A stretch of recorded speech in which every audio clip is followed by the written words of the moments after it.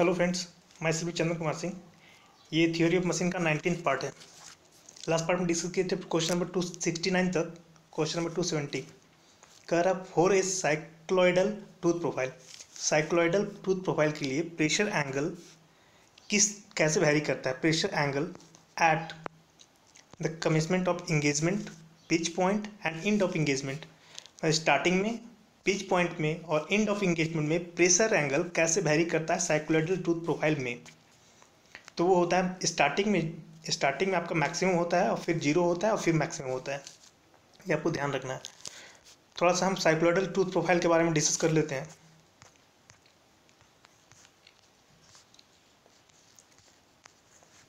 Cycloidal tooth profile में हम ये जानते हैं कोई भी टूथ प्रोफ़ाइल है। जैसे मान लीजिए कि ये आपका बेस सर्कल है। इसके ऊपर एक टूथ है। टूथ का ये अपर पोर्शन इसको फेस बोलते हैं और नीचे वाले को फ्लैंक बोलते हैं। सो साइक्लोइडल टूथ प्रोफ़ाइल में जो ये ये वाला जो है, ये इस तरह का, इस तरह का आपका शेप बनता है। इसमें इस पोर्शन को, इस पोर्शन को हम लोग बोलते हैं फेस और इस पोर्शन को बोलते हैं फ्लैंक इसमें क्या होता है कि एक पिच लाइन के क्रॉस इस सर्किल का कोई भी पॉइंट इस सर्किल को अगर हम रोल करवाते हैं, इस डायरेक्शन में तो इसका एक पॉइंट है, वो पॉइंट जिस जैसे ट्रेस होता है तो लोकस ऑफ़ दिस पॉइंट इस पॉइंट का जो लोकस होगा, जो पाथ फॉलो करेगा, वो ऐसा फॉलो करेगा।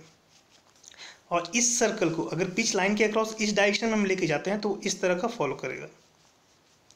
इसको हम लोग बोलते हैं, ऊपर के पोर्शन को बोलते हैं इपीसाइक्लॉइड और नीचे वाले पोर्शन को बोलते हैं हाइपोसाइक्लॉइड सिमिलर थिंग होता है कि पिच सर्कल के केस में, अगर पिच सर्कल ये है, इस सर्कल को अगर हम इस डायरेक्शन में लेके जाते हैं तो ये जो एक पॉइंट जो है वो इस, ऐसा सेप पॉइंट का जो लोकस होगा पॉइंट इस तरह से ट्रेवल करेगा। ये जो पॉइंट है वो इस तरह से ट्रेवल करेगा। और यहाँ पर ये इस ये इस सर्कल को इस डायरेक्शन में लेके जाएँगे तो ये इस तरह का सेप फॉलो करेगा। इसको हम लोग बोलते हैं फेस और इसको बोलते हैं फ्लैंक फेस जो है आपका, वो ईपीसाइक्लॉइड और फ्लैंक जो है वो हाइपोसाइक्लॉइड के फॉर्म का होता है। थोड़ा सा इसके बारे में देखेंगे हम तो cycloidal rack tooth profile meshing with the pinion as shown in the figure this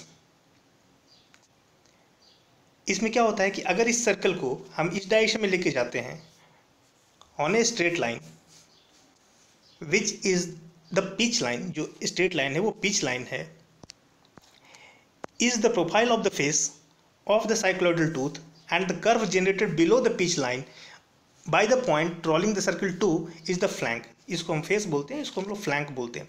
तो अगर ये है आपका बेस सर्कल तो प्रोफ़ाइल जो बना, वो प्रोफ़ाइल आपका ऐसा बना। एस जैसा।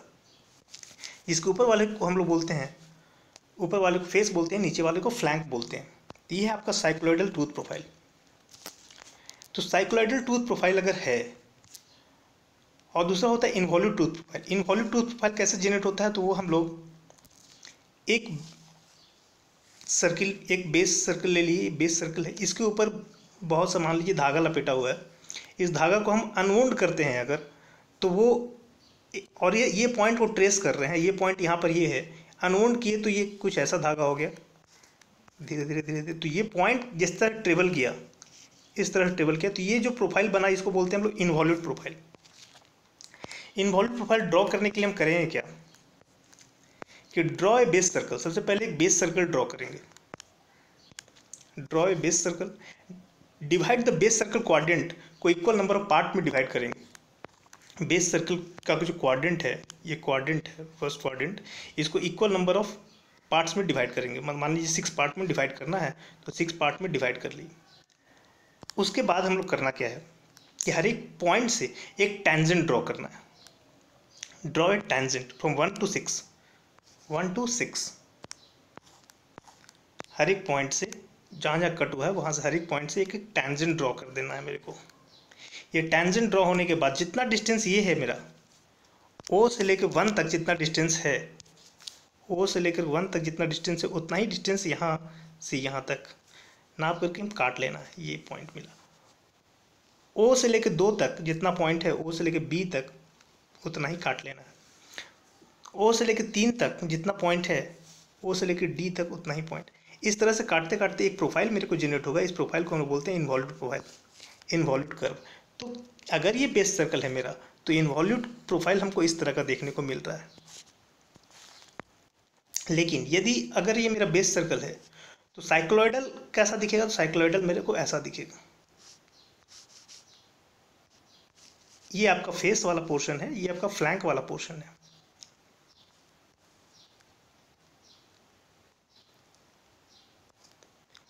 तो सिचुएशन मेरे पास ये है कि इन्वॉल्यूट प्रोफ़ाइल में क्या होता है? प्रेशर एंगल जो होता है, आपका कांस्टेंट होता है। इन्वॉल्व प्रोफ़ाइल में प्रेशर एंगल क्या होता है? मेरा कांस्टेंट होता है।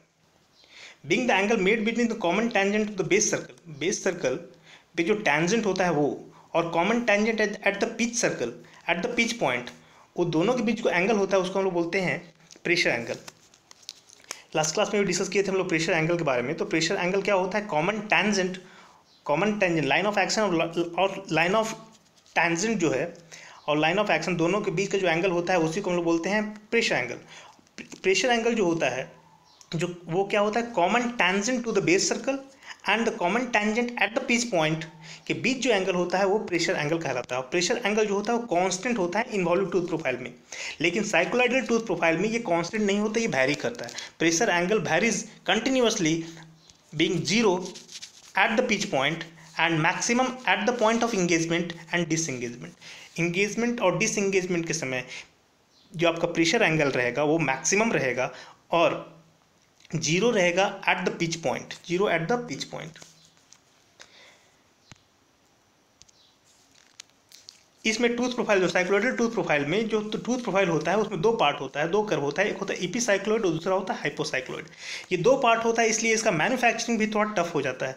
The method of manufacture is therefore more involve and lead to costlier gear tooth gear tooth से अगर इसको काटना है हमको मतलब हॉपिंग के थ्रू अगर काटना है तो उसके लिए कॉस्टलियर हो जाता है in comparison to involute tooth profile involute tooth profile के कंपेरिजन में ये कॉस्टलियर होता है. लेकिन अगर इन्वॉल्यूट टूथ प्रोफ़ाइल हमको काटना है तो उसको हम रैक कटर की मदद से काट सकते हैं. The tooth profile consist of a single curve in single involute curve and the rack cutter use to generating the profile of the straight teeth the rack cutter is cheaper and the method of manufacture is simpler this lead the reduction of the cost of manufacture of involve tooth involve tooth profile का manufacturing cost आपका कम हो जाता है। अब नौ बात आता है यहाँ पर कि जो अभी सीखे इसमें प्रेशर एंगल क्या होता है? इन्वॉल्व टूथ प्रोफ़ाइल में प्रेशर एंगल का कॉन्स्टेंट होता है थ्रू आउट लेकिन साइकोलॉजिकल टूथ प्रोफ़ाइल में आपका जो प्रेशर एंगल है वो वैरीज करता है। वैरीज कैसे करता है तो स्टार्टिंग में आपका मैक्सिमम रहता है इंगेजमेंट के समय प्रेशर एंगल मैक्सिमम होता है, और पिच पॉइंट पे आपका ज़ीरो होता है, और एंड ऑफ़ द इंगेजमेंट में आपका प्रेशर एंगल मैक्सिमम होता है। ईज ऑफ़ मैन्युफैक्चर इस, इसको बनाना ईजी होता है, इसको थोड़ा सा डिफ़िकल्ट होता है। सेंटर डिस्टेंस का अगर बात करें तो centre distance do not require exact centre distance exact centre distance में नहीं चाहिए हमको, लेकिन इसमें हमको साइकोलॉजिकल टूथ प्रोफ़ाइल में हमको एग्जैक्ट सेंटर डिस्टेंस हमको चाहिए। नेक्स्ट इंटरफेरेंस इंटरफेरेंस जो होता है इन्वॉल्यूट गियर में इन्वॉल्व टूथ प्रोफ़ाइल में आपको देखने को मिलता है इंटरफेरेंस लेकिन साइकोलॉजिकल टूथ प्रोफ़ाइल में इंटरफेरेंस आपको देखने को नहीं मिलता है. इस इंटरफेरेंस के बारे में हम आगे में डिस्कस करेंगे मोर डिटेल में. फ़िलहाल के लिए आप यहाँ पे यह ध्यान रखिए कि इंटरफेरेंस आपको साइकोलॉजिकल टूथ प्रोफ़ाइल में देखने को नहीं मिलता है. और ऐसे भी आप देख रहे हैं कि जैसे कि मान लीजिए ये बेस सर्कल है आपका, ये जो टूथ प्रोफ़ाइल आप बना है, ये आपका इन्वॉल्व टूथ प्रोफ़ाइल है. तो यहाँ पर इंटरफेरेंस इसके मदद से, ये जो नुकीला है, नुकीला के मदद से इंटरफेरेंस होने का चांसेस बढ़ जाता है। और साइकोलॉजिकल टूथ प्रोफ़ाइल में चूँकि ये नुकीला नहीं होता है, इसलिए इंटरफेरेंस होने का चांसेस आपका रिड्यूस हो जाता है। तो इंटरफेरेंस आपको देखने को नहीं मिलता है साइकोलाइडल गियर में, लेकिन इसमें देखने को आपको मिलता है।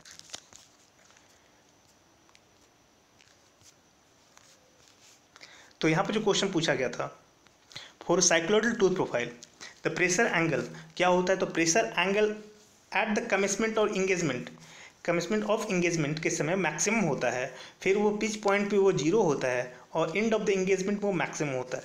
ये आपको ध्यान रखना है।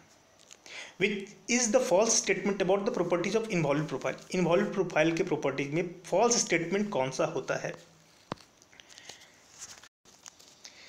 फ़र्स्ट फ़र्स्ट लाइन है आपका the shape of the involve profile is dependent only on the dimension of the base circle तो ये सही बात है, सही स्टेटमेंट है। हमसे पूछा गया रॉन्ग स्टेटमेंट क्या होता है? इसमें ये फ़र्स्ट स्टेटमेंट ये बोला गया the shape of the involve profile is dependent upon the dimension of the base circle base circle के डायमेंशन पे डिपेंड करता है। बेस सर्कल अगर छोटा होगा तो आपका जो इन्वॉल्व प्रोफ़ाइल बनेगा, वो डिफरेंट होगा। अगर बड़ा होगा बेस सर्कल तो डिफरेंट होगा। अगर बहुत बड़ा होगा बेस सर्कल तो इन्वॉल्व प्रोफ़ाइल जो बनेगा वो स्ट्रेट लाइन बनेगा।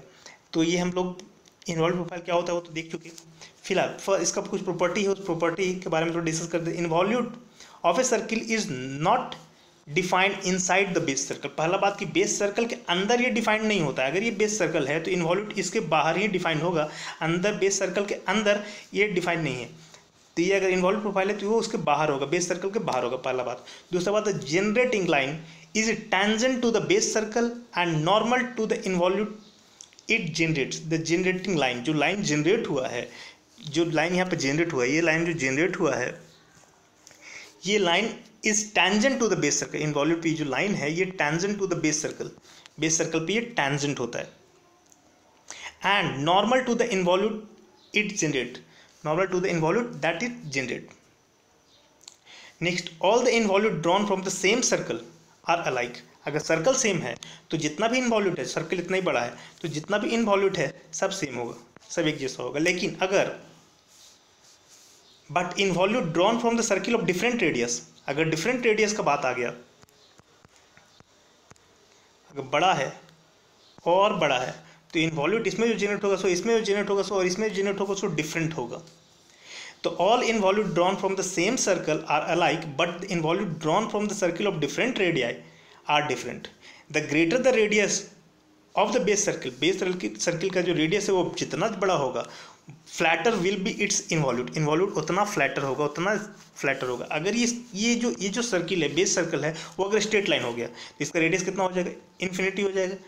इन्फिनिटी ये स्ट्रेट लाइन जो है, ये एक बेस सर्कल है अगर, ये स्ट्रेट लाइन अगर बेस सर्कल है तो इसका रेडियस जो होगा वो इन्फिनिटी होगा। तो ये एक ऐसा बेस सर्कल है जिसका रेडियस इन्फिनिटी है। तो रेडियस अगर इन्फिनिटी है तो यहाँ पर जो इन्वॉल्व जनरेट होगा, वो इन्वॉल्यूट स्ट्रेट लाइन ही जनरेट होगा। वो इन्वॉल्यूट कैसे जनरेट होगा? स्ट्रेट लाइन जनरेट होगा। तो ये इन्वॉल्यूट स्ट्रेट लाइन जनरेट होगा। कह रहा है कि the greater the radius of the base circle the flatter with will be its involute the involute becomes a straight line involute जो होगा स्ट्रेट लाइन होगा for the base circle of infinite radius base circle of infinite radius वैसा base circle जिसका radius infinite है, उस पर जो involute develop होगा, वो एक स्ट्रेट लाइन होगा।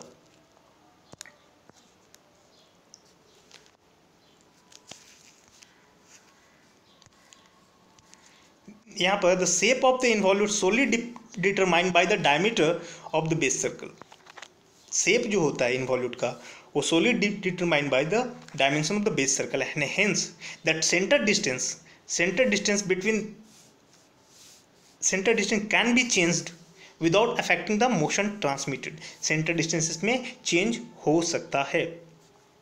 सेंटर डिस्टेंस में चेंज कर सकते हैं। दोनों गियर का सेंटर डिस्टेंस पे चेंज किया जा सकता है, लेकिन उससे चेंज करने से भी मोशन ट्रांसमिटेड इफ़ेक्ट नहीं पहुंचाएगा।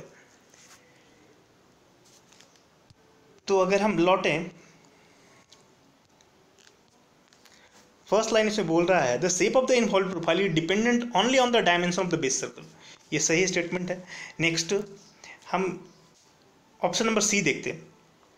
Involute is the only tooth form that is not sensitive to the centre distance of their base circle ये भी सही अभी देख चुके सेंटर डिस्टेंस पर डिपेंड नहीं करता है, लेकिन साइकोलॉजिकल ट्रूथ प्रोफ़ाइल जो होता है वो सेंटर डिस्टेंस पर डिपेंड करता है।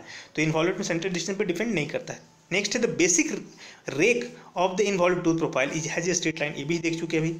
नेक्स्ट है involve profile is generated by the locus of the point on a thread unwound on the cylinder एक सिलेंडर पर से एक थ्रेड को अनवुंड कर रहे हैं मतलब खोल रहे हैं। ये थ्रेड इस पर लपेटा हुआ है। इस थ्रेड को हम खोल रहे हैं। तो थ्रेड कुछ देर में ऐसा हो जाएगा। फिर और खोलेंगे तो ऐसा खुलेगा।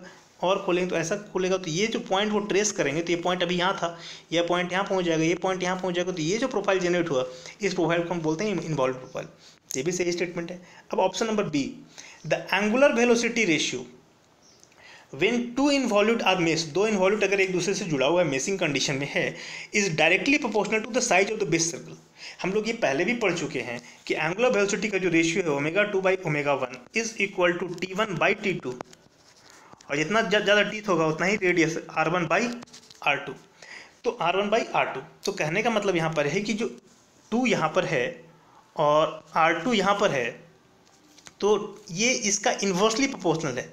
Not directly proportional. The angular velocity ratio when two involute are mesh is directly proportional to the size of the base circle. Directly proportional नहीं है ये inversely proportional है inversely related है ओमेगा टू रेडियस के साथ या diameter के साथ इन्वर्सली रिलेटेड है तो हम यहाँ से ये कहेंगे कि जो एंगुलर वेलोसिटी होता है वो इन्वर्सली रिलेटेड है दैट मीन्स यहाँ पर लिखा हुआ डायरेक्टली प्रोपोर्शनल है that means this is the wrong statement आपसे फॉल्स स्टेटमेंट पूछा जा रहा है that mean this is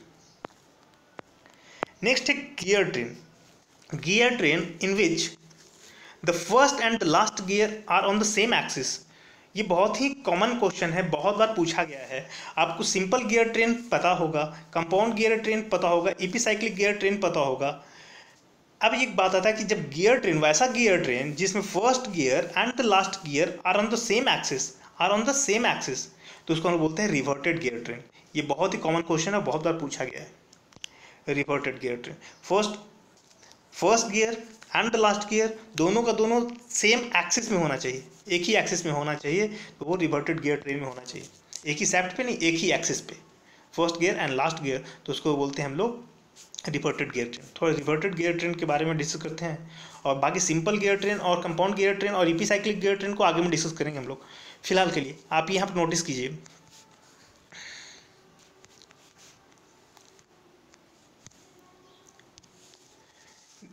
यहाँ पर एक गियर ये है। ये गियर है। ये गियर नंबर वन मान के चलिए आप। This is gear number one. This is the gear number two this is the gear number three और this is the gear number four इसमें अगर एक सेफ्ट पे, एक सेफ्ट पे एक से ज़्यादा गियर माउंटेड है तो उसको बोलेंगे कंपाउंड गियर ट्रेन मतलब इस सेफ्ट पे, इस सेफ्ट पे दो गियर माउंटेड है, दो नंबर और तीन नंबर इसी सेफ्ट पे, इसी सेफ्ट पे दो नंबर ही माउंटेड है और तीन नंबर ही माउंटेड है तो इसको बोलेंगे कंपाउंड गियर ट्रेन एक सेफ्ट पे अगर एक ही गियर माउंटेड है तो उसको बोलेंगे हम लोग सिंपल गियर ट्रेन तो एक सेफ्ट पे, इस सेफ्ट में, इस सेफ्ट में, इस सेफ्ट में यही एक माउंटेड है, एक नंबर जो एक नंबर हम इसका नाम लिए तो ये एक नंबर इसी सेफ्ट में माउंटेड है। तो इसको बोलेंगे सिंपल गेयर ट्रेन तो ये वन जो है वो सिंपल गेयर ट्रेन और टू और थ्री जो है वो कंपाउंड गियर ट्रेन के अंतर्गत आता है। अब बोल रहा है कि इनपुट एंड आउटपुट मतलब कि जो फ़र्स्ट गियर है एंड लास्ट गियर और on the same axis same axis में अगर होगा, तब क्या होगा? तो यहाँ पर मान लीजिए this is the first gear train यहाँ से मोशन ट्रांसमिट हुआ टू में गया। टू मूव किया तो थ्री भी मूव करेगा और थ्री मूव करेगा तो फोर भी मूव करेगा। फोर और वन दोनों सेम ही एक्सिस पर है। तो इसको बोलते हैं हम लोग रिवर्टेड गियर ट्रेन इसको हम बोलते हैं रिवर्टेड गियर ट्रेन यहाँ डॉटेड लाइन से स्टिल दिखाया गया क्योंकि ये जो गियर है और ये जो गियर है, एक सेफ्ट पे नहीं है, दोनों अलग अलग सेफ्ट पे है। लेकिन हाँ एक्सिस दोनों का सेम है। तो इसको हम लोग बोलते हैं सिंपल गियर ट्रेन किसको कहेंगे? एक सेफ्ट में एक ही गियर अगर माउंटेड है तो उसको सिंपल गियर ट्रेन बोलेंगे। एक सेफ्ट पे अगर एक से ज़्यादा गियर माउंटेड है तो उसको कंपाउंड गियर ट्रेन बोलेंगे। और अगर input input gear and output gear मतलब first gear and last gear are on the same axis तो उसको बोलेंगे रिवर्टेड गियर ट्रेन तो रिवर्टेड गियर ट्रेन क्या होता है? When the axis of the first gear and the last gear are coaxial then it is known as reverted gear train उसको हम लोग क्या बोलेंगे? Reverted gear train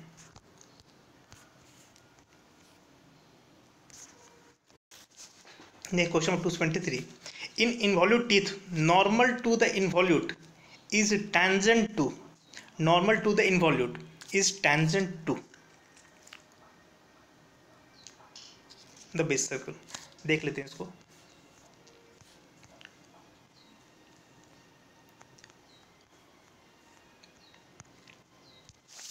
जैसे मान लीजिए this is base circle and this is pitch circle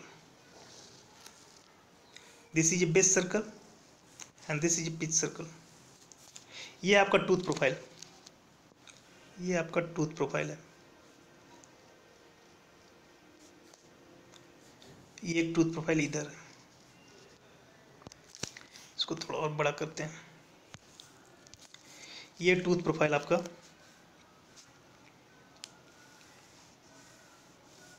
और ये टूथ प्रोफ़ाइल यहाँ. तो लाइन ऑफ़ एक्शन जो लगेगा वो इस डायरेक्शन में लगेगा। This is the line of action ये टूथ प्रोफ़ाइल है मतलब ऐसा दिखेगा। टूथ एक टूथ पूरा। और ये टूथ पूरा ऐसा दिखेगा। तो लाइन ऑफ़ एक्शन जो है this is the line of action and line of tangent this is the line of tangent at the pitch point तो लाइन ऑफ़ एक्शन और लाइन ऑफ़ टेंजेंट के बीच का जो एंगल है, इस एंगल को हम लोग बोलते हैं प्रेशर एंगल तो लाइन ऑफ़ एक्शन जो होता है, जो normal to the involve involve पे जो नॉर्मल है, वो लाइन ऑफ़ एक्शन ये ये लाइन ऑफ़ एक्शन किस पे टेंजेंट है? तो ये बेस सर्कल पे टेंजेंट है। ये बेस सर्कल है मेरा बेस सर्कल पे टेंजेंट है। ये बेस सर्कल पे टेंजेंट है। Pressure angle angle between the common normal जिसको हम ए बी बोल रहे हैं makes with the common tangent to the two pitch circle that in TT is, it is usually between 14.5 degree to 20 degree. Pressure angle is always constant for involve profile for involve profile के लिए ही ये constant होता है, वो always constant होता है। अगर कोई दो गेयर है, दोनों के बीच का प्रेशर एंगल जो है, वो 14.5 डिग्री है या फिर 20 डिग्री पहले के, पहले आपका 20 डिग्री चलता था, आज के डेट में 14.5 डिग्री चलता है।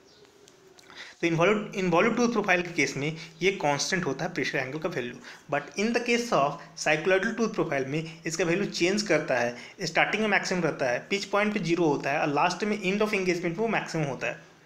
तो आपसे पूछा ये गया है तो normal to the normal to the involve profile में जो नॉर्मल है, ये जो नॉर्मल है, वो किस पे टेंजेंट है? तो बेस सर्कल पर टेंजेंट है.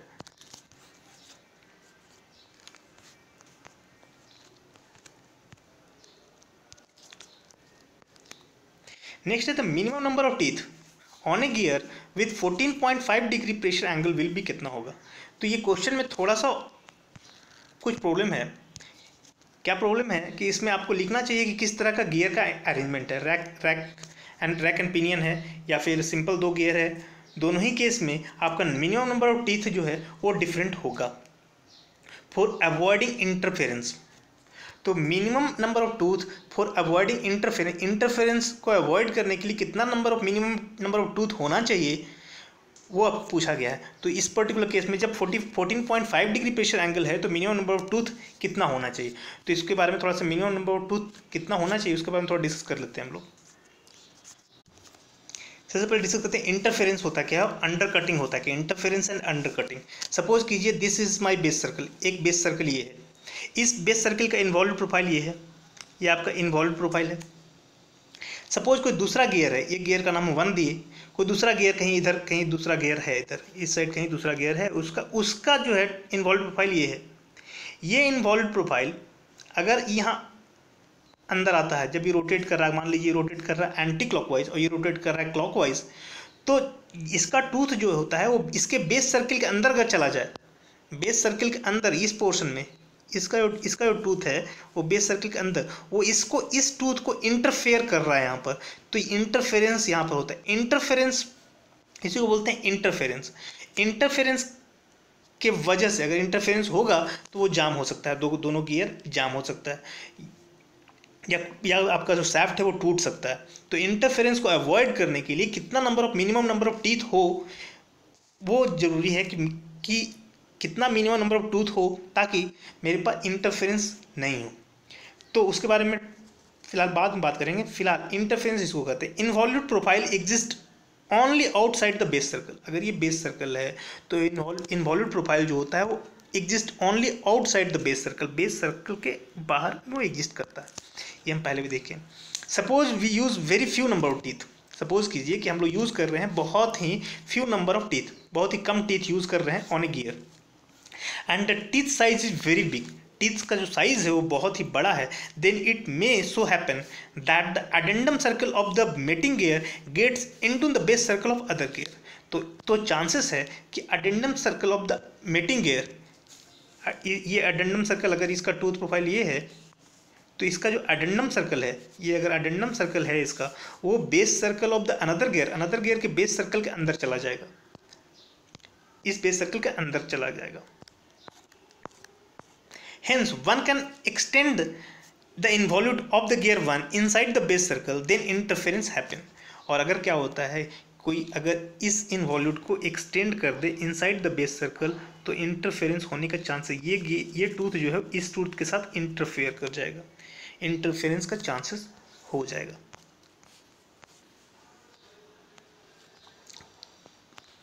इंटरफेरेंस होता क्या है? Addendum circle gets into the base circle of other gear addendum जो है addendum circle of one gear gets into the base circle of other gear other gear के बेस सर्कल में चला जाए तो उसको बोलते हैं interference we are avoiding the interference हम लोग ये चाहते हैं कि इंटरफेरेंस नहीं हो. By under cutting the tooth of the gear one gear one को under cutting the tooth inside the base circle base circle में इन ये इंटरफेरेंस नहीं हो। तो हम क्या करेंगे? यहाँ से कुछ मटेरियल को यहाँ से स्कूप आउट कर देंगे। यहाँ से यहाँ से कुछ मटेरियल को निकाल देंगे ताकि वो इंटरफेयर ना करे। इंटरफेरेंस यहाँ पे नहीं हो। तो यहाँ से कुछ मटेरियल को अंडर कट कर देंगे ऐसा करने से होगा क्या? ऐसा करने से मेरा ये जो गियर है, वो मेरा कमज़ोर हो जाएगा। वो वीकेंड हो जाएगा। Is not a satisfactory solution because the under cutting weaking weaken the tooth of the gear one ऐसा करने से कटिंग करने से मेरा टूथ जो होता है वीक हो जाएगा। तो प्रॉपर सॉल्यूशन क्या है उसका? तो avoiding interference ensuring some minimum number of teeth of the gear interference को अवॉइड करने के लिए हम लोग ये कोशिश करेंगे कि मिनिमम नंबर ऑफ़ टूथ कितना होना चाहिए, उससे कम अगर हो जाएगा, उससे कम टूथ अगर कर देंगे तो इंटरफेरेंस हो जाएगा। तो कम से कम मिनिमम कितना नंबर ऑफ़ टूथ हो ताकि इंटरफेरेंस ना हो। तो अब हेडिंग है मेरे पास। Minimum number of tooth to avoid interference interference को अवॉइड करने के लिए कितना मिनिमम नंबर ऑफ़ टूथ होना चाहिए? To transmit angular velocity ratio angular velocity ratio lambda transmit मान लीजिए वो करना है तो omega two by omega one is less than और इक्वल टू वन अगर ओमेगा वन बराबर ओमेगा टू दोनों सेम एंगुलर वेलोसिटी से रोटेट कर रहा है that means this ratio is equal to one मतलब जितना वेलोसिटी इनपुट में दिए उतना ही वेलोसिटी मेरे को आउटपुट में मिला। तो इसका जो रेशियो है, वो रेशियो हमेशा लेस देन वन और वन के बराबर होता है। लेस देन वन क्यों? क्योंकि आप आप जो वेलोसिटी आप दे रहे हो ओमेगा वन वो हमेशा ग्रेटर देन ओमेगा टू होता है। क्योंकि जो आप इनपुट वेलोसिटी बहुत ज़्यादा दे रहे हो, कुछ लॉसेस होगा तो ओमेगा टू तो आपका कम ही होगा। That mean omega two by omega one का अगर मैग्नीट्यूड की बात करें तो omega two by omega one always less than और इक्वल टू वन लेमडा जो है यहाँ पर एंग्लो वेलोसिटी रेशियो जिसको हम लेमडा बोल रहे हैं यहाँ पर एंग्लो वेलोसिटी रेशियो जो होता है omega two by omega one के बराबर होता है, और इस रेशियो ये equal to T one by T two और टी वन जितना ज़्यादा टीथ होगा, उसका radius R P one by R P two radius of P circle one by radius of P circle two के बराबर होगा। तो यहाँ पर यहाँ ध्यान ये देना है कि बहुत ही इंपॉर्टेंट रिलेशन है। ओमेगा टू ये T one R one omega one T two R two O P one O one P O two P R P one और आर पी टू क्या है? ओ वन पी और O P to देखिए, यहाँ पर ये आपका बेस सर्कल है, ये आपका पिच सर्कल है।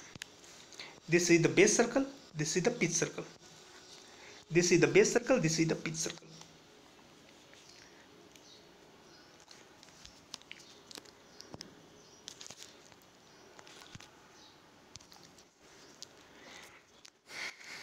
this is the pitch point ये आपका पिच पॉइंट है। ये लाइन ऑफ़ एक्शन है मेरा, ये लाइन ऑफ़ एक्शन है। इस पिच सर्कल पे, इस यानी बेस सर्कल पे जो टूथ है, वो टूथ का एडेंडम सर्कल अगर हम ड्रॉ करें तो this is the addendum circle this is the addendum circle और इस बेस सर्कल पे जो टूथ है, उसका एडेंडम सर्कल आपका ये है। आपका ये एडेंडम सर्कल है। तो ये जो पॉइंट है, ये जो पॉइंट है, ये पॉइंट पी और ये पॉइंट जो पी ये पी जो है वो देखने में छोटा लग रहा है और पी जो है वो देखने में बड़ा लग रहा है, क्योंकि आप इसका साइज़ बड़ा है। इसका साइज़ छोटा है। तो यहाँ पर ये ये जो चीज़ है A P is lower than B P इसका मतलब ये है कि इसका टूथ जो है, इसका टूथ जो है वो ईजिली आसानी से, बहुत जल्दी यहाँ पर इसके बेस सर्कल में चला जाएगा। दैट मीन यहाँ पर इंटरफेरेंस होने का चांसेस है। लेकिन जब इसका टूथ यहाँ जाएगा तो इसका टूथ जो होगा वो यहीं तक पहुँचेगा। इसका टूथ यहीं तक पहुँचेगा। तो यहाँ पर इंटरफेरेंस होने के चांसेस नहीं इंटरफेरेंस होने के चांसेस यहाँ पर है। तो हम कह ये सकते हैं कि A P is less than B P A P is less than B P that means इसका मतलब ये है कि ए पी जो ये वाला डिस्टेंस है, वो बी पी से छोटा है। इसका मतलब ये है कि interference first occur at the pinion interference इसमें होगा पिनियन पिनियन छोटे वाले को कहते हैं और बड़े वाले को आप गियर बोल सकते हो। तो interference first occur at the pinion interference first कहाँ ऑकर होगा? एट द पिनियन में होगा। नाउ अब थोड़ा सा इसको थोड़ा सा गौर करें हम। तो ये है आपका O2 और ये है O1 यहाँ से लेकर के यहाँ तक सेंटर डिस्टेंस सेंटर डिस्टेंस ये। O1P O1P with this radius radius of this pitch circle O2P radius of this pitch circle यहाँ से यहाँ तक हम इसको मिला दिए। ये आपका कॉमन नॉर्मल हो गया। अब common normal common tangent at the pitch point के बीच जो एंगल बनता है, उसको बोलते हैं प्रेशर एंगल ये प्रेशर एंगल कितना? है फाइव है। प्रेशर एंगल फाइव है आपका। इस ट्रायंगल से ये जो ट्रायंगल दिख रहा है, इस ट्रायंगल में कोसाइन लॉ हम लोग लगाएँगे। तो कोसाइन लॉ लगाएँगे तो ये पूरा एंगल कितना हो जाएगा? ये पूरा एंगल तो यहाँ से यहाँ तक 90 डिग्री और प्लस ये फाइव 90 डिग्री प्लस फाइव तो कोसाइन लॉ बोलता है ओ टू ए का square is equal to O two P का स्क्वायर प्लस ए पी का स्क्वायर ओ टू पी का स्क्वायर प्लस ए पी का square minus two O P O two P into A P two O two P into A P cos of this angle angle between them angle between they cos of ninety plus five ये cosine law लगाए cos ninety plus five जो है cos ninety plus five is equal to minus sine five तो minus sine five minus minus plus तो यहाँ plus हो गया sine five O two P square plus A P square two O two P into A P जैसा ऊपर है वैसा ही नीचे. एक बात और यहाँ पर ए पी जो है ए पी जो है, वो कितना होगा? दिस ए पी इससे हम देखें this A P is equal to O one P O one P sine five O one P sine five A P is equal to O one P sine five क्योंकि ये right angle triangle है। ये आपका right angle triangle है। तो A P is equal to O one P sine five तो A P is equal to O one P sine five इसका square तो इसका भी square plus two O two P into O one P sine five A P यहाँ भी है तो O one P sine five और साइन फाइव पहले से साइन स्क्वायर फाइव यहाँ से ये पहुँचा। यहाँ से हम ये देखें lambda is equal to O one P by O two P O one P क्या है? R P one O two P क्या है? R P to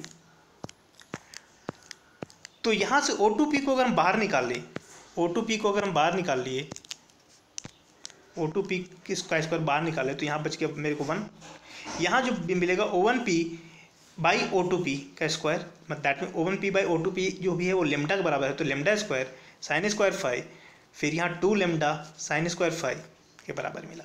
O two A is equal to this much इसका square था square इस side गया तो root में कन्वर्ट हो गया रूट में कन्वर्ट हो गया। नाउ एडेंडम एडेंडम का अगर हम बात करें एडेंडम ए एडेंडम ए कितना होगा? एडेंडम ए तो यहाँ से लेकर के यहाँ तक ओ टू ए में से ये चीज़ जो है, यहाँ से लेकर यहाँ तक ये हम घटा दें। मतलब ओ टू पी घटा दें तो दिस दिस एडेंडम ये जो, ये पोर्शन मिलेगा, वो एडेंडम मिलेगा। तो addendum is equal to O two A minus O two P O two A minus O two P O two A अभी अभी निकला मेरा।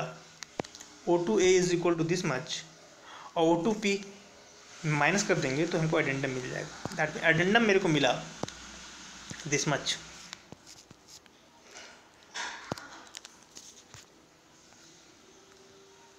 addendum is equal to this much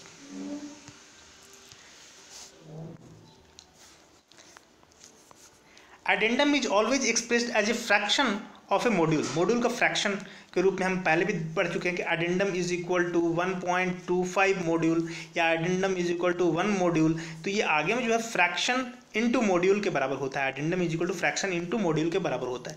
तो addendum is equal to fraction into module के बराबर होता है. Addendum कितना आया? तो एडेंडम मेरे को आया दिस मच तो fraction into module is equal to this much and module is equal to module हम लोग क्या पढ़े हैं? मॉड्यूल पढ़े हैं diameter of the pitch circle by number of teeth diameter of the pitch circle क्या हो जाएगा? Two into O two P by T two two into O two P by T two तो तो fraction into module module के जगह पर two into O two P by T two रख देंगे और बाकी राइट साइड जो है वैसा ही रख देंगे। O two P O two P cancel हो जाएगा। यहाँ से टी टू मेरे को मिला। T two is equal to this much यहाँ से टी टू मेरे को मिला दिस मच हमको minimum number of teeth on the pinion चाहिए तो हमको minimum number of teeth on the pinion चाहिए दैट मीन्स हमको टी वन चाहिए। तो हम लोग पहले भी पढ़ चुके हैं कि lambda is equal to lambda is equal to T one by T two lambda is equal to T one by T two तो T one is equal to T two into lambda T two मेरे को निकल गया मेरे को। तो T one is equal to T two into lambda T one is equal to T two into lambda तो T one कितना हो जाएगा? लेमडा इंटू टी टू का जो भी वैल्यू आया, वो यहाँ रख देंगे। तो this is the minimum number of tooth for avoiding the interference ये जो टी वन है, ये जो टी वन है, जो भी टी वन ये टी वन मिनिमम आया, जो teeth original teeth number of teeth होना चाहिए, वो इस मिनिमम नंबर ऑफ़ टीथ से ज़्यादा होना चाहिए, ताकि interference will be avoided T one T one मतलब number of tooth on the pinion और gear must be greater than the T1 minimum. This minimum number of tooth से ज़्यादा होना चाहिए, so that the interference can be avoided. Normally जो fraction होता है fraction को हम लोग वन मान के चलते हैं तो फ्रैक्शन जहाँ कहीं भी है, वहाँ वन मान के चलते हैं हम लोग. This is minimum number of tooth for avoiding the interference now अब बात करते हैं रैक एंड पिनियन के केस में. रैक एंड पिनियन के केस में सेम फॉर्मूला अप्लीकेबल नहीं होगा. जो फॉर्मूला भी मिनिमम नंबर ऑफ़ टूथ निकला, वो वो फॉर्मूला हम लोग रैक एंड पिनियन के लिए यूज़ नहीं कर सकते हैं, क्योंकि हम लोग जानते हैं lambda is equal to lambda is equal to omega two by omega one is equal to T one by T two is equal to R P one by R P two तो अब rack rack जो है और pinion जो है rack तो के पास तो एंगुलर वेलोसिटी है ही नहीं। रैक के पास एंगुलर वेलोसिटी मेरे पास है ही नहीं। मतलब रैक जो है तो वो तो स्ट्रेट लाइन में ट्रांसलेटरी मोशन में रहेगा ना। तो ये ओमेगा वन और ओमेगा टू क्या है? ओमेगा टू और ओमेगा वन जो है, वो आपका एंगुलर वेलोसिटी है। तो एंगुलर वेलोसिटी यहाँ पर omega two by omega one कह रहे because angular velocity of rack is zero because rack have the only translation motion rack के पास सिर्फ़ और सिर्फ़ ट्रांसलेशन मोशन होता है। तो जो टी वन होगा मिनिमम नंबर ऑफ़ टूथ जो होगा मिनिमम नंबर ऑफ़ टूथ जो हम निकाले थे अभी अभी minimum number number of tooth for avoiding interference इसमें लेमडा जहाँ कहीं भी है lambda omega two by omega one है जो भी। ओमेगा टू को ओमेगा टू को अगर रैक मान लेते हैं रैक का वेलोसिटी तो वो ज़ीरो मिला तो लेमडा जहाँ जहाँ है, वहाँ वहाँ ज़ीरो आप पुट करोगे। तो यहाँ से नंबर ऑफ़ टूथ जो मिलेगा ज़ीरो अपॉन ज़ीरो मिलेगा। ज़ीरो अपॉन ज़ीरो, यहाँ पर लेमडा ज़ीरो, में दैट मीन पूरा ज़ीरो, यहाँ वन माइनस वन ज़ीरो, और ऊपर लेमडा है ज़ीरो दैट मीन जो number of tooth minimum number of tooth जो है मिला ज़ीरो बाई ज़ीरो। तो अगर रैक और पिनियन के केस में जो नंबर ऑफ़ टूथ मिला एन वन की जगह टी वन यहाँ पर जहाँ भी एन वन है, वहाँ टी वन टी वन जो है, वो क्या मिल रहा है आपको? ज़ीरो बाई ज़ीरो मिल रहा है। दैट मीन्स इसको कैसे अप्लाई करें? तो इसको अप्लाई करने के लिए हम लोग क्या करेंगे? जो लेमडा है, वो ज़ीरो के बराबर नहीं करेंगे। हम लेमडा को टेंडिंग टू ज़ीरो करेंगे और लिमिट अप्लाई करेंगे। तो हमको वो कंडीशन देगा कि कब कब कब इंटरफेरेंस अवॉइड होगा। That means minimum number of tooth for avoiding interference in case of rack and pinion rack and pinion case में। आप करो क्या इसमें? लेमडा बाई टी वन जो है टी वन मिनिमम जो है, वो ज़ीरो बाई ज़ीरो आ रहा है तो आप क्या करेंगे, जो एवं फॉर्मूला मेरे पास था minimum number tooth for avoiding the interference उसको हम डिफ्रेंशिएट करेंगे numerator and denominator with respect to lambda जो भी हमको मिलेगा, उसमें लेमडा की जगह पर हम ज़ीरो पुट करेंगे। तो ऊपर डिफ्रेंशिएट किए तो मिला टू एफ़ नीचे डिफ्रेंशिएट किए दैट मीन दिस मच ये हमको मिला। इसमें लेमडा की जगह पर, जो इतना करने के बाद डिफ्रेंशिएट करने के बाद इतना है मेरे पास। इसमें लेमडा की जगह हम ज़ीरो पुट करेंगे। तो फाइनली जो number of teeth minimum number of teeth for avoiding the interference is equal to two F by sine square five two F by sine square five अब जो क्वेश्चन हमसे पूछा ये गया है कि मिनिमम नंबर ऑफ़ टूथ आप निकालिए फॉर अवॉइडिंग द इंटरफेरेंस तो किस केस में? गियर के केस में या फिर रैक एंड पिनियन के केस में? अगर गियर के केस में तो हम लोग ये फॉर्मूला यूज़ करेंगे minimum number of tooth for avoiding the interference और रैक एंड पिनियन के केस में अगर यूज़ करना है दैट मीन्स ये फॉर्मूला यूज़ करेंगे। Two F by sine square five तो ये लिखना क्वेश्चन में बहुत ही ज़रूरी है कि किस केस में आपसे पूछा ये गया है। नाउ यहाँ पर मान लीजिए कि हम निकालें, इसको सॉल्व किए। फॉर गियर के केस में गियर के केस में T one minimum minimum number of tooth for avoiding the interference ये फॉर्मूला मेरे पास आया। इस फॉर्मूला में फ्रैक्शन की जगह वन रखें और लेमडा की जगह वन रखें दैट मीन्स ओमेगा वन बराबर omega two that means lambda is equal to one put किए तो जो मेरे पास मिनिमम नंबर ऑफ़ टूथ जो मिला, वो दैट मीन्स ट्वेंटी टू या twenty three twenty three tooth हमको मिला for avoiding the interference but in case of rack and pinion case में, अगर मिनिमम नंबर ऑफ़ टूथ अगर हम निकालने की कोशिश करें for the pressure angle 14.5 degree 14.5 degree pressure angle case में, यहाँ भी 14.5 डिग्री ही पुट की है, तब जाकर के मेरे को ये मिला, यहाँ भी वही 14.5 डिग्री पुट करेंगे तो जो मेरे को मिला वो 32 मिला। और यहाँ पर two F by sine square five तो ये लिखना बहुत ज़रूरी है कि किस केस में आपका मिनिमम नंबर ऑफ़ टूथ पूछा जा रहा है फॉर अवॉइडिंग द इंटरफेरेंस तो अगर रैक एंड पिनियन केस में तो सिंपल फॉर्मूला है two F by sine square five, वो आया कितना? Thirty two degree. अब यहाँ पर अगर आप याद रखना चाहते हैं कि मिनिमम नंबर ऑफ़ टूथ कितना होना चाहिए फॉर अवॉइडिंग द इंटरफेरेंस तो गियर रैक रैक के लिए कितना? 14.5 डिग्री प्रेशर एंगल के लिए 32 जो कि हम लोग निकला और इक्वल गियर के केस में इक्वल के गियर के केस में minimum number of tooth gear के केस में 23 ये मेरे को निकला। प्रेशर एंगल चेंज करेंगे तो आपका मिनिमम नंबर ऑफ़ टूथ भी चेंज होगा दोनों ही केस में। या आप याद भी रख सकते हो या फिर आप फॉर्मूला से आप निकाल भी सकते हो। यहाँ पर एन जो लिखा हुआ है नंबर ऑफ़ टीथ को लिखा हुआ है। हम लोग टी यूज़ किए थे।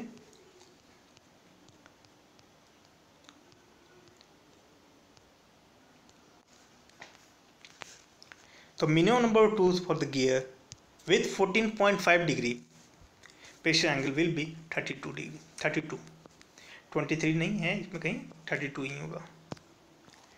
Next mitre gear is use for mitre gear का यूज़ क्यों करते हैं? मीटर गियर होता क्या है? तो मीटर गियर एक खास तरह का बीवल गियर होता है। Bevel gear of equal size bevel gear का साइज़ क्या होगा? इक्वल होगा। तो उसको मीटर गियर बोलते हैं। अब मीटर गियर जो है, ये आपका mitre gear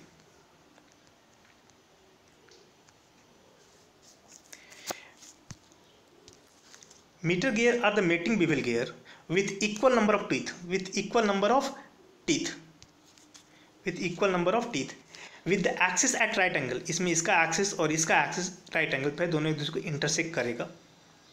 This gear are use to transmit power around 90 degree corner 90 degree corner में पावर को ट्रांसमिट करने के लिए ऐसा गेयर का यूज़ करते हैं। Mitre gear shown in the figure figure में दिखाया गया है मीटर गेयर एक दूसरे को इंटरसेक्ट कर रहा है। नंबर ऑफ़ टीथ दोनों में सेम है। दोनों का वेलोसिटी भी सेम होगा। Omega two by omega one is equal T one by T two that mean T one और टी टू दोनों सेम है. That mean omega one by omega two भी सेम ही होगा. दैट मीन्स हम कह सकते हैं मीटर गेयर के बारे में थोड़ा सा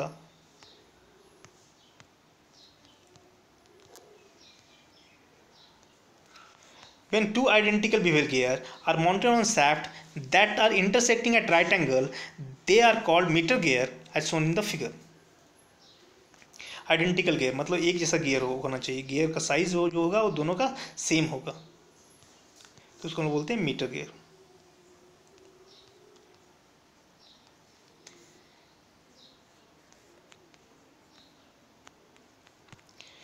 इसमें अगर ये भी, ये आप देख लीजिएगा transmitting motion between intersecting shaft तो आपको लगेगा ये सही है। लेकिन ज़्यादा ज़्यादा एक्यूरेट है इक्वल स्पीड क्योंकि नंबर ऑफ़ टीथ अगर इक्वल है तो हम जानते हैं omega two by omega one is equal to T one by T two अगर टी वन इक्वल है तो टी वन और टी टू दोनों इक्वल है that mean this is equal to one दोनों जो कैंसिल किए this is equal to one that mean omega one बराबर omega two that mean equal speed equal speed के केस में आप मीटर गियर यूज़ करते हो। ठीक है, वो 90 डिग्री पे इंटरसेक्टिंग सैप्ट रहता है, लेकिन उससे ज़्यादा बेहतर है आपका, ज़्यादा एक्यूरेट है equal speed next the difference between dedendum and addendum is known as clearance ये हम लोग पहले भी डिस्कस कर चुके थे। एडेंडम और डिडेंडम के बीच का जो डिफरेंस होता है, उसको हम लोग क्या बोलते हैं? उसको बोलते हैं हम लोग क्लियरेंस जैसे कि हमें देख रहे हैं कि this is the addendum circle of one gear this is the addendum now this is the dedendum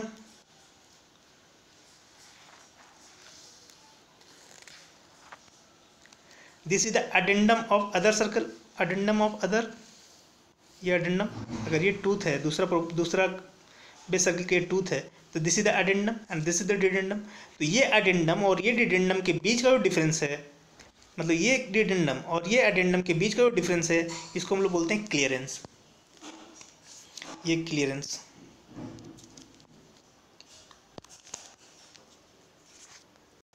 next question number two seventy seven larger pressure angle result in pressure angle अगर ज़्यादा होगा तो क्या होगा? प्रेशर एंगल कम होगा तो क्या होगा? यहाँ पूछा गया लार्जर प्रेशर एंगल होगा तो क्या होगा?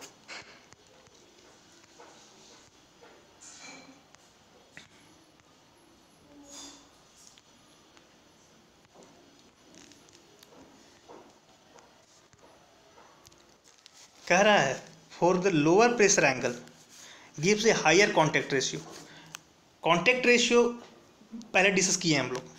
प्रेशर एंगल अगर कम है तो हमको कॉन्टेक्ट रेशियो ज़्यादा देगा। कॉन्टेक्ट रेशियो ज़्यादा मतलब ज़्यादा देर तक कॉन्टेक्ट में रहेगा और ज़्यादा देर तक कॉन्टेक्ट में रहेगा, इसका मतलब क्वाइटर ऑपरेशन ऑपरेशन जो होगा वो नॉइजी नॉइजी नहीं होगा क्वाइटर होगा और वो रिड्यूस वियर वियर कम होगा। अगर प्रेशर एंगल कम होगा तो वियर कम होगा और क्वाइट होगा। ऑपरेशन जो होगा क्वाइटर होगा। लेकिन for larger pressure angle result in the tooth which are broader at the base and hence the stronger in the bending stronger in bending and hence are stronger in bending तो कहने का मतलब है कि for a given circular pitch the larger pressure angle result the teeth which are broader at the base base बड़ा होगा pressure angle बड़ा तो बेस आपका बहुत ब्रॉड होगा। बहुत ब्रॉड होगा। और वो स्ट्रोंगर होगा इन बेंडिंग में। लेकिन अगर आपका लोअर प्रेशर एंगल होगा दैट मीन्स आपका जो कॉन्टेक्ट रेशियो होगा, वो आपका ज़्यादा रहेगा। That mean quieter of the operation and smooth operation होगा। तो आपको ये ध्यान रखना है। Larger pressure angle that mean wider base and stronger teeth wider base and stronger teeth next question two twenty eight the contact ratio of और engagement factor contact ratio या engagement factor in case of gear gear का contact ratio जो होता है, वो होता है one point three से लेकर वन पॉइंट फाइव तक. जनरली यही होता है. तो ये होता क्या है? इसके बारे में पहले भी डिस्कस किए हैं हम लोग. थोड़ा सा एक बार फिर से देख लेते हैं. कॉन्टैक्ट रेशियो कॉन्टैक्ट रेशियो क्या बताता है? Number of pair of teeth in contact कितना पेयर ऑफ़ टीथ कॉन्टैक्ट में है? ये कॉन्टैक्ट रेशियो इंडिकेट करवाता है। ये होता है length of arc of contact by circular pitch formula हम लोग डिराइव कर चुके थे। Contact ratio is equal to this much generally contact ratio कम से कम जो होगा, वो वन होगा मिनिमम और कॉन्टैक्ट रेशियो वन से लेकर टू के बीच लाई करता है। If the contact ratio is 1.6 1.6 contact ratio का मतलब ये होता है that means one pair of teeth is always in contact एक पेयर ऑफ़ टीथ तो कॉन्टैक्ट में है, और दूसरे टीथ का second pair is in contact for 60 percent of time 60 percent of time second teeth contact में रहता है। मतलब एक टीथ एक पेयर ऑफ़ टीथ कॉन्टैक्ट में है, और दूसरे का 60 परसेंट कॉन्टैक्ट में है। तो उसको बोलते हैं हम लोग contact ratio contact ratio generally one से टू के बीच ही लाई करता है। तो 1.6 है। इसका मतलब इसका मतलब ये है कि one pair of teeth always in contact and the second pair is in contact for 60 percent of time larger the contact ratio more quietly the gear will be operate जितना ज़्यादा कॉन्टैक्ट रेशियो होगा gear उतना quietly operate होगा। That mean noise कम होगा। तो ये generally होता है 1.3 से लेकर 1.5 तक next which of the following is not the gear of non parallel non intersecting not not का मतलब नॉट मतलब पैरेलल और इंटरसेक्टिंग पैरेलल एंड इंटरसेक्टिंग अगर पैरेलल है तो दोनों को एक दूसरे को इंटरसेक्ट कर भी नहीं करेगा। मीन क्वेश्चन थोड़ा सा कंफ्यूजिंग है, थोड़ा सा इसको गौर से देख लीजिएगा। नॉट नहीं लिखता तो तब तो आप इसमें ओम गियर मार सकते थे। हेलिकल गियर, क्रॉस गियर भी होता। मतलब स्पायरल गियर जो भी होता है, वो intersecting and non intersecting and non parallel होता है।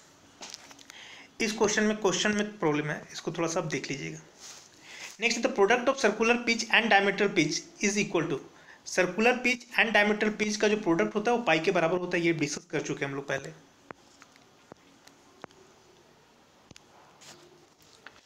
Which is the false statement about the cycloidal gear cycloidal gear के केस में कौन सा फॉल्स स्टेटमेंट है? तो साइक्लोइडल गियर के केस में इंटरफेरेंस एग्जिस्ट करता है तो साइक्लोइडल में इंटरफेरेंस एग्जिस्ट नहीं करता है। तो ये फॉल्स स्टेटमेंट है आपका। साइक्लोइड साइक्लोइडल में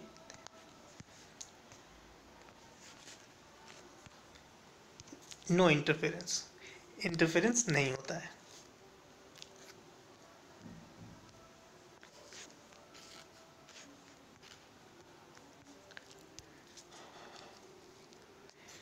Bevel gear have their teeth bevel gear अगर है तो उसका टीथ कैसे होता है? इंटरसेक्टिंग सेप्ट के केस में बीवेल गेयर जो होता है when the shaft are intersecting each other and coplanar the bevel gears are use to transmit the power bevel gears have the shape of truncated cone the size of the gear tooth decrease toward the apex of the cone tooth का जो size है, यहाँ पर ज़्यादा है, यहाँ पर कम है। तो उसका सेप जो होता है कोन जैसा होता है बेवल गियर ये एक बेवल गियर दोनों एक दूसरे को 90 डिग्री पे कट कर रहा है। यहाँ से पावर ट्रांसमिट हो रहा है यहाँ।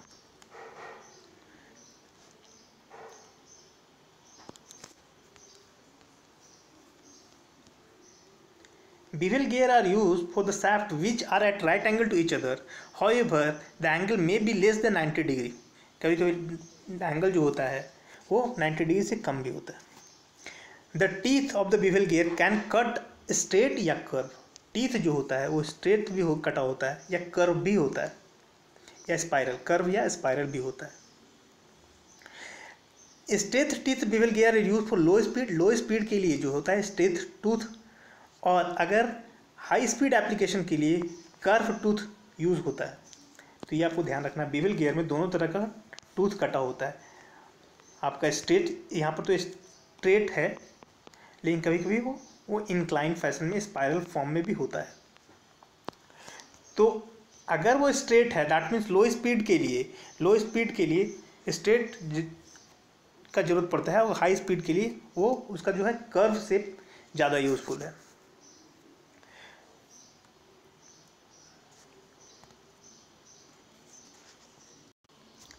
तो bevel gear have their teeth straight भी होता है इंक्लाइंड भी होता है curve over the rim will भी होता है तो इसमें कौन सा सही स्टेटमेंट है? तो सबसे ज़्यादा एक्यूरेट जो है वो cut on the surface of the frustum of cone option number D ज़्यादा एक्यूरेट है कोन के फॉर्मेट का होता है। नेक्स्ट है helical gear have their teeth helical gear का जो टीथ होता है, वो कैसा होता है? हेलिकल गेयर तो हेलिकल गेयर का जो एक्सिस है सैफ्ट का जो एक्सिस है, वो पैरेलल होता है। तो helical gear use for parallel shaft drive they they have teeth incline to the axis teeth जो है वो इस एक्सिस पे इंक्लाइन रहता है कुछ। ये इसका एक्सिस है तो इस टीथ जो है वो इसके ऊपर इंक्लाइन है। Hence for the same with their teeth are longer than the spur gear and have high at load carrying capacity अगर इंक्लाइन है तो लोड कैरिंग कैपेसिटी ज़्यादा होगा। अगर वो स्ट्रेट है parallel to the shaft axis तो लोड कैरिंग कैपेसिटी कम होगा। और ऐसा कर रहने से इंक्लाइन रहने से क्या होगा? कॉन्टेक्ट रेशियो आपका ज़्यादा होगा। कॉन्टेक्ट रेशियो अगर इसमें ज़्यादा है तो इसका मतलब वो क्वाइटर ऑपरेशन होगा।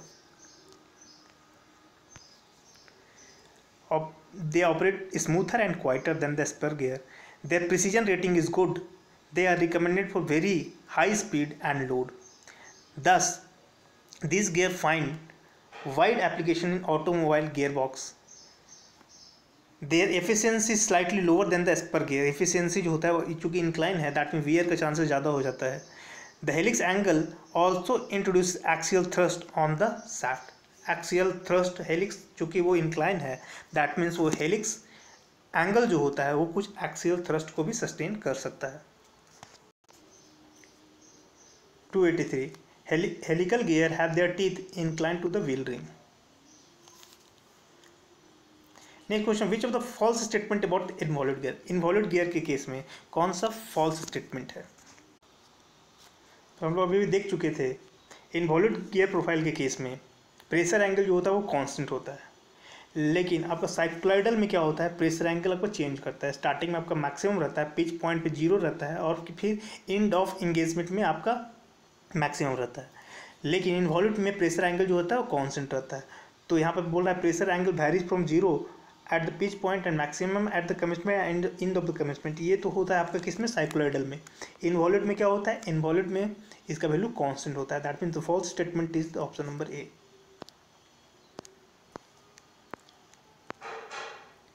next, the center distance between the involute gear is a function of base circle radius of the mating gear and pressure angle ये क्वेश्चन पहले भी डिस्कस किए थे। Center distance between the involve gear is a function of base circle radius and pressure angle कैसे वो थोड़ा सा देख लीजिए।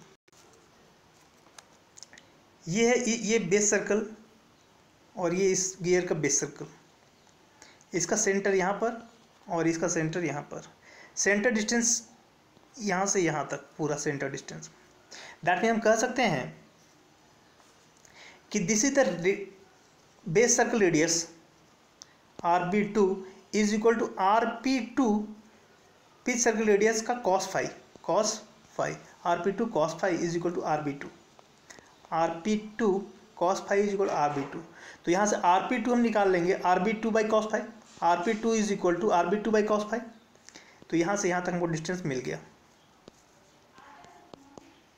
नेक्स्ट यहाँ पर भी ये जो डिस्टेंस है वो मिलेगा R P one is equal to R B one by cos five तो टोटल डिस्टेंस यहाँ से यहाँ तक R P one plus R P two तो R P one plus R P two is equal to R B two by cos five plus R B one by cos five मतलब base circle radius और cos five मतलब five मतलब pressure angle का function होता है आपका center distance total center center distance तो हमसे ये पूछा गया है, इधर center distance between the involve gear is a function of base circle radius of the mating gear and the pressure angle next question 286 best profile to obtain resistance against wear resistance against wear के लिए best profile जो है वो 14.5 degree full depth involute ये याद रखिए आप। 14.5 degree full depth in involute next for a given total arc length arc of action the work wasted in the form of friction work wasted in the form of friction is least मतलब friction में work जो waste होगा, वो कम होगा। कब? जब आपका आर्क ऑफ़ अप्रोच और आर्क ऑफ़ रिसेस दोनों इक्वल होगा, तब। जितना arc of path of path of approach और पाथ ऑफ़ रिसेस दोनों जब इक्वल होगा, तब के केस में आपका जो work wasted in the friction वो मिनिमम होगा। ये आर्क ऑफ़ कॉन्टेक्ट जब पढ़ा रहे थे path of contact arc of contact जब पढ़ाया तो उसमें, उस समय बताया गया था कि आर्क ऑफ़ रिसेस क्या होता है और आर्क ऑफ़ अप्रोच क्या होता है। तो आर्क ऑफ़ अप्रोच अब अगर आर्क ऑफ़ रिसेस के बराबर है, के बराबर है तो उस वक्त आपका जो work wasted in the form of friction वो लिस्ट होगा। ये आपको ध्यान में रखना है। एक दो क्वेश्चन और भी ध्यान में रखना है। Efficiency of the worm and worm wheel worm and worm wheel के केस में जो इफिशियंसी होगा, वो होगा one minus sine five divided by one plus sine five five with the pressure angle friction angle sorry five the friction angle spiral gear case में यहाँ यहाँ पर alpha with the helix angle and five with the pressure angle तो इसका maximum efficiency spiral gear के case में हम लोग ये डिस्कस कर चुके थे। One plus cos alpha plus five divide by one plus cos alpha minus five ये भी, ये डिस्कस पहले किए थे हम लोग। तो इसको डायरेक्ट याद रखिए, इसको डेरिवेशन में जाने की ज़रूरत नहीं है। वॉम बिल के केस में one minus sine five divide by one plus sine five spiral gear case में one plus cos alpha plus five divide by one plus cos alpha minus five